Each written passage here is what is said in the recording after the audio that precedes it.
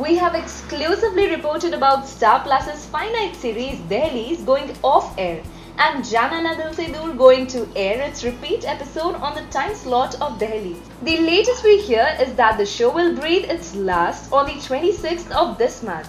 We hear that it will be a happy ending where Adarsh and Swadhinta will meet and Jaya will ask for forgiveness and eventually even she will come home. Today is the last episode of the show. We spoke to Tridha. When Tridha was contacted, she said, Yes, today is the last episode of our shoot.